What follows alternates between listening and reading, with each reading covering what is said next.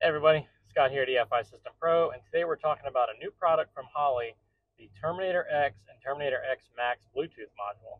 Using your iPhone or Android, you can download the app from your App Store or Google Play, and you can see all the same things that are on the 3.5 inch touchscreen without any wires.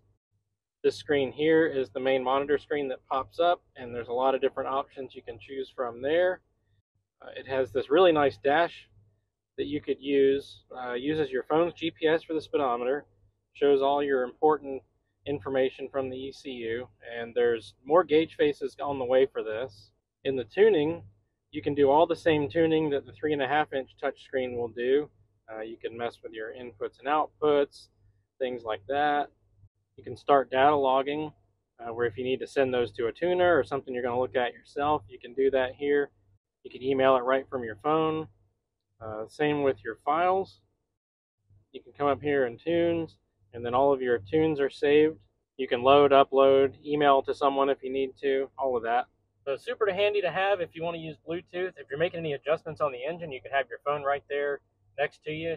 Like if you're setting your IAC, you can watch that while you adjust the throttle screw, and all things like that. So super handy to have. You definitely want to pick one of these up, and we keep them in stock, EFI System Pro.